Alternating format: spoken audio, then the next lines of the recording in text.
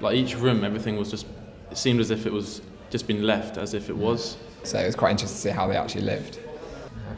You look at the map and you see it all plotted out with where all the front lines are and stuff, and it's insane that it's across like the whole world.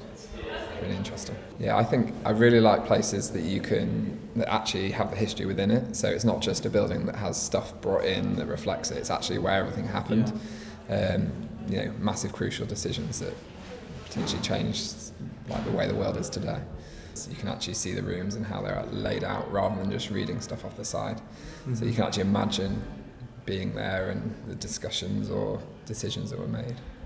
You can't see this anywhere else. I'm not like a museum kind of person, like I'm happy to say that, but I feel like this is a lot, I found this a lot easier to like enjoy